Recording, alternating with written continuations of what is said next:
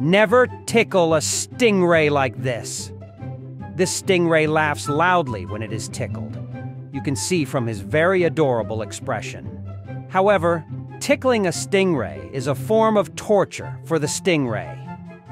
Stingrays have many complete nerves, so when touched, their nerves will immediately respond. Including when they are tickled, stingrays will feel tickled.